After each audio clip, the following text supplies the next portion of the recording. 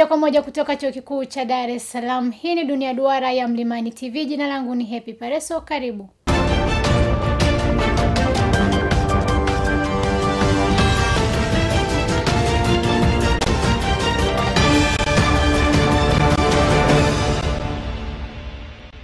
Wadau na wanaharakati mbalimbali wamekutana katika mdahalo wa mazingira na matumizi ya nishati jadidifu ambapo mdahalo huo umeandaliwa na taasisi isiyo ya kiserikali HUDEFO, lengo likiwa ni kutoa elimu kwa wananchi juu ya umuhimu wa kutunza mazingira na kushawishi matumizi ya nishati endelevu. Mwandishi wetu David Wakarungi ana undani wa taarifa hiyo. Nishati jadidifu ni zile nishati ambazo vyanzo vyake tunasema vyanzo vyake ni vyanzo visivyokwisha ama vyanzo vya mzunguko, vyanzo ambavyo havitakuja kuisha hata iweje. Na vyanzo vyenyewe kwa mfano jua.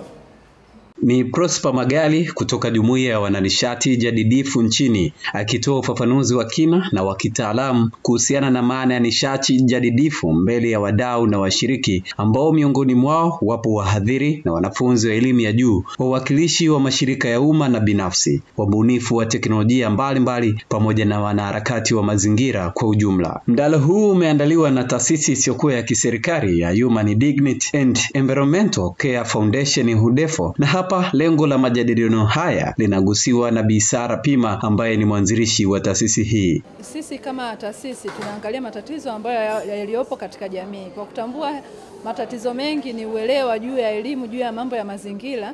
Ndio maana tulikuja na mjadala huu wa nishati jadidifu ili tuweze kutoa elimu na iweze kuwafikia wananchi kuanzia ngazi ya chini hadi ngazi zote.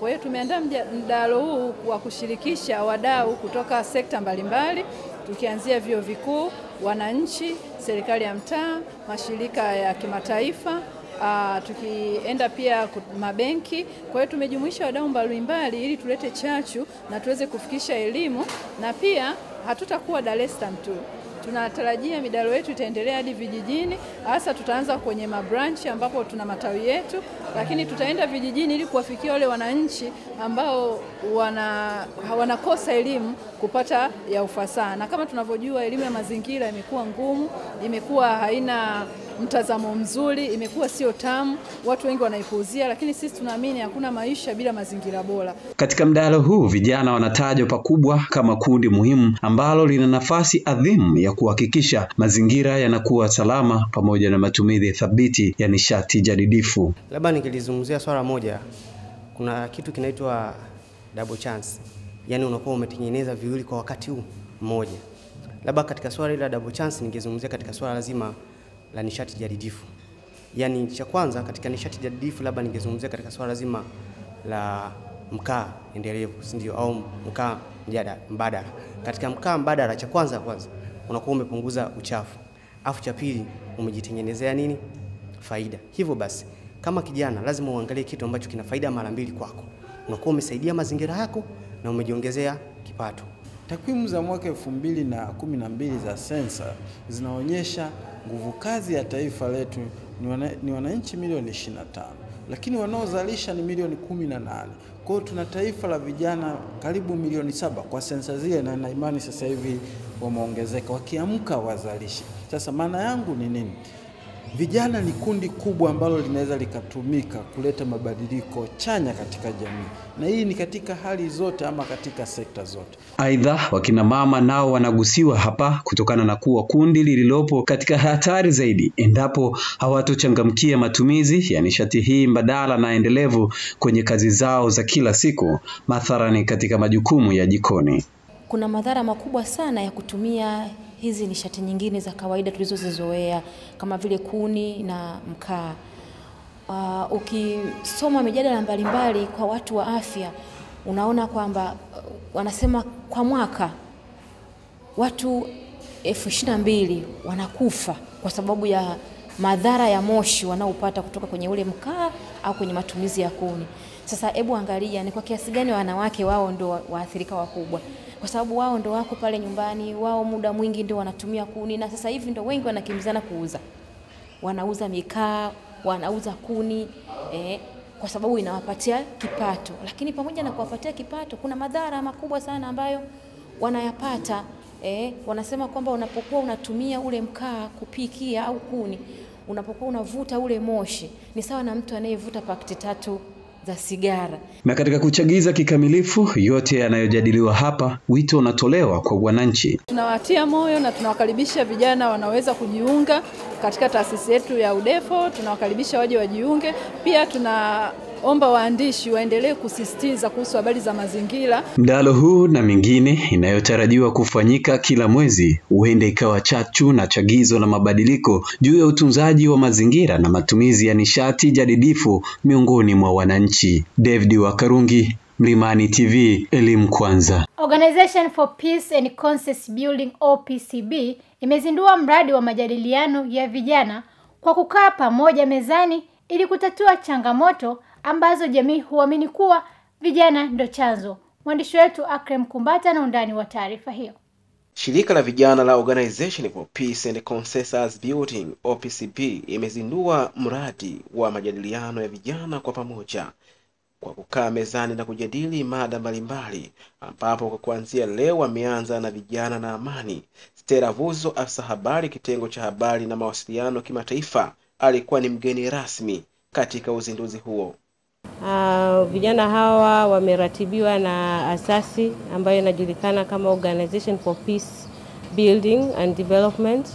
Wameanzisha round table peace talks za vijana, kwa maana kwamba vijana kwa vijana wanategemea kwamba watakuwa na ajenda zao wanazojadiliana zitakazowajengea uwezo wa kulinda amani iliyokuwepo uh, pale walipo, kama ni nchini au kimataifa wanategemea kwamba watakuwa na wanajadiliana na kuzungumza wenyewe kwa wenyewe na kutafuta suluhu kwenye matatizo yao wao wenyewe. Kwa upande wake mkurugenzi wa taasisi ya Organization for Peace and Consensus Building OPCB IC Eliki Bahame amezungumzia juu ya malengo yao. Tuko hapa katika ofisi za Umoja wa Mataifa, tumekuja kuzindua program ambayo inakwenda kwa jina la Round Table Youth Peace Talk. Kama taasisi ni taasisi ambayo inahusiana ina na makundi yote, tukianza vijana, lakini wanawake, hata watoto mpaka wazee. Lakini kwa vijana tuliona, kwa sababu vijana tunaunda percentage kubwa katika nchi yetu, hata duniani kiujumla, tukasema kwa nini vijana tusikutane, tukazungumza yale mambo ambayo yanatuhusu hasa kuhusiana na amani, kwa sababu tukiangalia rekodi, lakini pia hata maneno ya watu baadhi mitaani wanapotuona vijana wanasema, lakini vijana hawa ndio chanzo cha vurugu. Lakini hizi round table peace talk ndio leo tumekuja kuzizindua kuweza kuonyesha, kutoa hiyo dhana ambayo ipo katika jamii mbalimbali. Aidha, Musa Raido, mkurugenzi wa masuala ya maendeleo na ushirikiano, amesema kuwa mradi huo utaenda kuwanufaisha vijana moja kwa moja. Programu hii inakwenda kunufaisha vijana kwa sababu kwanza tunawapa fursa ya wao kuweza kukutana na organizations au mashirika mbalimbali kuweza kukutana kwa pamoja, kujadiliana na kuweza kupata fursa za wao kutambulika na kuaminika wanafanya kitu gani. Lakini pia moja kwa moja tunawalinki vijana. Vijana wengi wana, wana ofisi zao, wana organizations, wana shughuli mbalimbali ambazo wanazifanya, lakini wanahitaji fursa tunapokutana hapa moja kwa moja tunapeana fursa kuwa linki vijana na hizo organizations ambazo wanafanya kazi zinazoendana na wao wanazozifanya. Akrem Kumbata, Mlimani TV, elimu kwanza. Katika mapumziko mafupi, tukirejea tukutane viwanjani.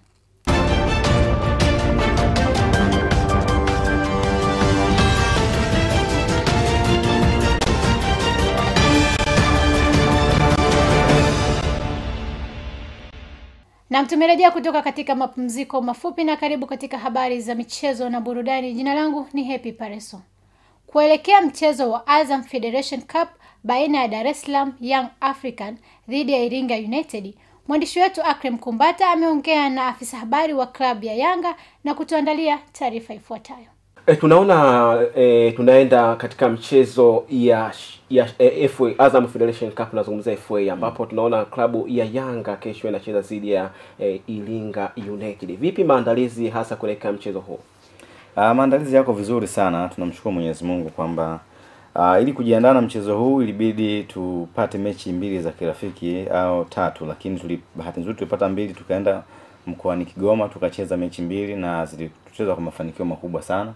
Tumecheza na timu mbili ambazo zimetupa ushindani mzuri sana kuhakikisha kwamba uh, mwalimu anapata kuona mapungufu ya kikosi chake, na japo tulipata ushindi, lakini zile zilikuwa timu nzuri sana na zimetupa mazoezi ya kutosha kuja kwenye mchezo huu ambao tuna tunakabiliana nao hapa uh, wa dhidi ya Iringa United. Na baada ya kurudi uh, niseme kwamba kikosi kiko vizuri, wachezaji wote wame, wamerejea na tumekuwa na maandalizi mazuri sana mpaka kufikia uh, leo asubuhi, kwa maana kwamba baada ya leo hatutakuwa na muda tena wa kufanya mazoezi, ni kwenda kwenye mechi siku ya kesho. Tunajua Iringa mpaka Iringa United mpaka kufika hapa sio uh, hawajafanya kitu kidogo, wamefanya kitu kikubwa sana, na tunajua kwamba hizi timu huwa zinapokutana na na Yanga uh, huwa tunakuwa na kazi kubwa sana, na ndio maana sisi tunasema kila mchezo kwetu ni fainali, kwa sababu hata tukikutana na timu ndogo kiasi gani, hizo timu zinapocheza na Yanga zinajua kwamba zinajenga historia ya kuzungumziwa miaka na miaka. Uh, reference kubwa imekuwa kwamba kwenye kombe la FA tulikutana na timu inaitwa Ihefu ikatusumbua sana eh, na tukaenda mpaka kwenye mikwaju ya penalty. Ndo, ndo raha yenyewe ya michuano kama hii, unaipa nafasi timu ambayo haijulikani inakuja kucheza na timu kubwa kama Yanga, na yenyewe sasa sio tu ije ipigwe tano, kwa sababu ikipigwa tano itasahaulika kabisa, lakini ikikaza ikifika kama hivyo ilivyofika Ihefu, anasifiwa na anatajwa kila siku Ihefu. Kwa tunajua hata Iringa United tunavyokuja uh, wanakuja wakiwa na madhumuni ya kusema kwamba tunakabiliana na Yanga na tunataka tuwadhibiti Yanga tupate hiki na hiki na hiki.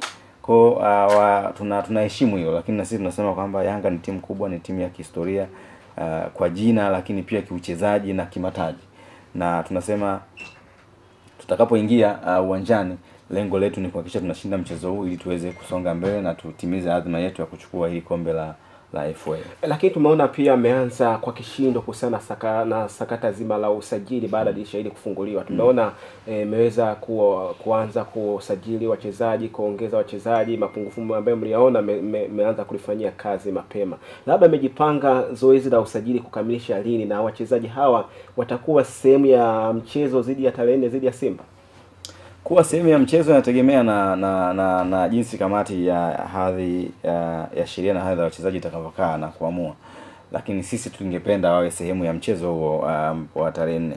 Kitu kingine ambacho tunasema kwamba tumeanza mapema ili tumalize mapema. Sisi mpaka Jumanne ijayo tunataka tu tumefunga zoezi la usajili ili wale wachezaji wote waje waingie kambini uh, na wenzao wafanye mazoezi ya pamoja kwa muda mrefu, kwa sababu hatuna muda wa kupumzika tukianza kudelay mpaka siku ya mwisho ya dirisha la usajili kutakuwa tutakuwa tufanye kitu cha kwa sababu ligi inaendelea, na unajua usajili wetu na usajili wao dirisha dogo mnasajili mna wakati ligi inaendelea.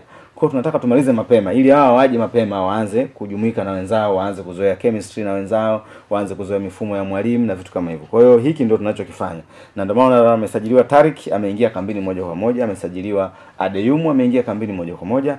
Nchimbi akirudi tunamalizana naye uh, nani amesha saini makaratasi ya mezani hayo. Akisharudi tunakamilisha masuala ya vipimo, anaingia moja kwa moja kambini. Nionzima ana, anaingia moja kwa moja kambini. Kwa hiyo anabakia huyu mmoja ambaye ni surprise na big signing, naye akishakamilika Jumanne anaingia kambini moja kwa moja. Kwa hiyo hatuna muda wa kupoteza na hatuna muda wa kusikiliza wenzetu wanafanya nini au wanafanya nini. Sisi tunafanya kulingana na focus tuliyokuwa nayo na ndo malengo yetu, na kama tutakamilisha mapema na mambo yatakwenda vizuri basi hawa hawa tarehe ishirini na tarehe thelathini wanaweza wakacheza mechi dhidi ya biashara, kwa sababu mambo mambo yanakuwa hadharani. hatu hatu hatu hataki kuvunga vunga, ku, kujinyima kwa sababu kama plan tulikuwa nazo tayari na determination tulikuwa nayo na tayari tulikuwa nia ya kufanya hilo jambo na uwezo wa kufanya hilo jambo tunao na tumefanya.